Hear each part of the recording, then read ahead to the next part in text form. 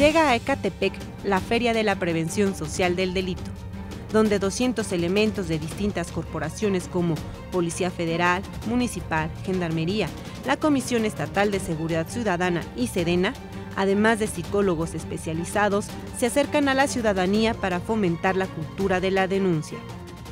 Entonces yo invito a todas las mujeres a que no nos quedemos calladas, a que ya hay autoridades que, nos, que nos protegen, que nos defienden. Entonces acudamos a ellas en estos casos, ¿sí? Y no nos quedemos con las manos cruzadas.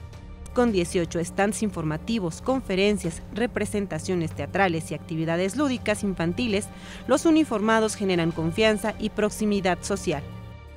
Bueno, nosotros venimos del Centro de Atención Primaria a las Adicciones se llama Capa Ruiz Cortines. Nos dedicamos principalmente a la prevención y al tratamiento de algunas dependencias de alcohol, tabaco y otras drogas. La feria concluye el viernes 9 de septiembre. Visítala en un horario de 10.30 de la mañana a 3 de la tarde frente al Palacio Municipal.